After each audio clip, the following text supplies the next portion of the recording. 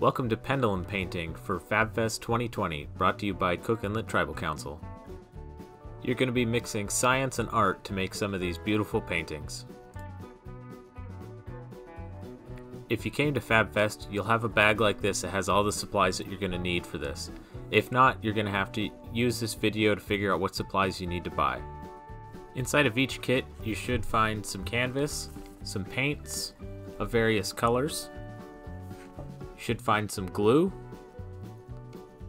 there should be a length of yarn, you'll find a plastic drop cloth for keeping things clean, and you'll find some wire wrapped around a stick.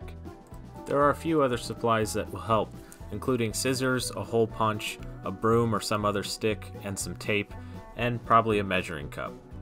As this can be a very messy process, we highly recommend spreading out the drop cloth on an area that you want to keep clean and taking two chairs or something and putting the stick or broom across it. If you tape it down, it's going to help it stay in place, but it's not a requirement. You could put something heavy on it as well. Take one of your bottles of glue and dump it into a cup. It doesn't have to be a measuring cup, but that is helpful. Try to get as much of the glue out as possible, but it doesn't have to be perfect.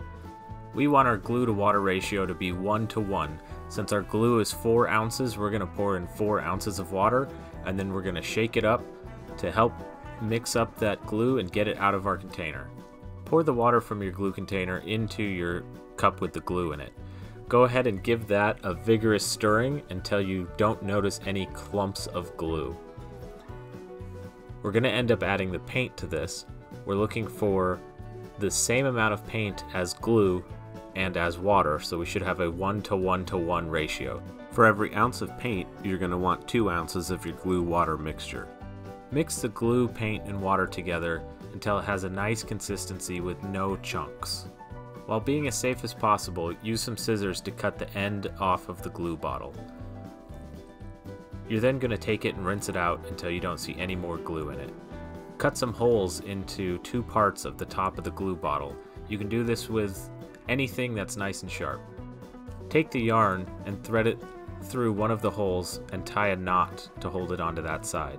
You're then going to take the other end of the string and do the same for the other hole of the bottle. This is what you're going to be hanging it from the stick with later on.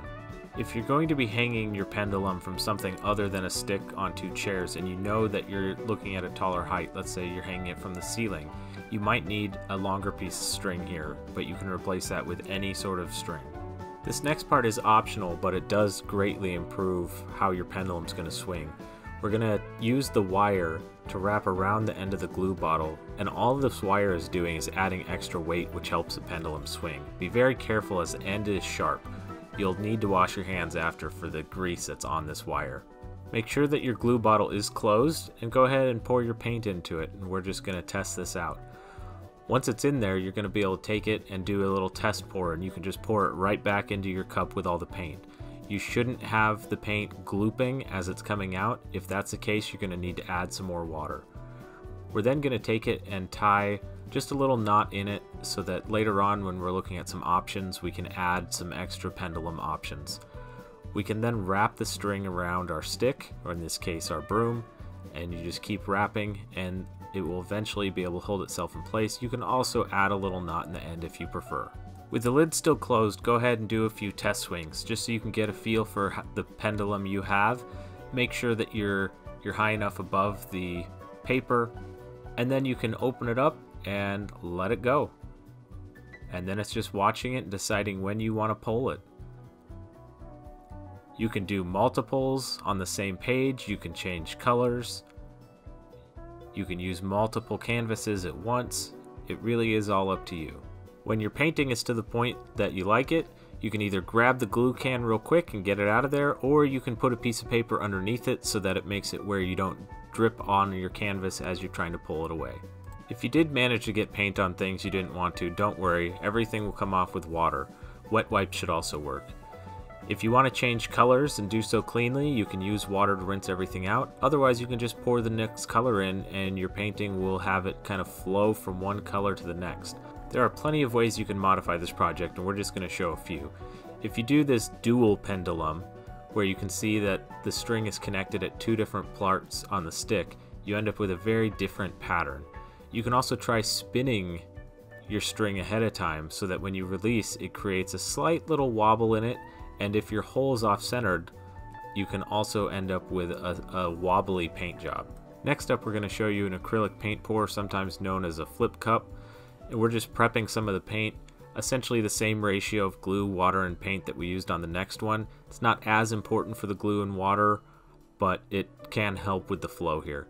We're just mixing together different colors that we had and just putting them all together into one cup.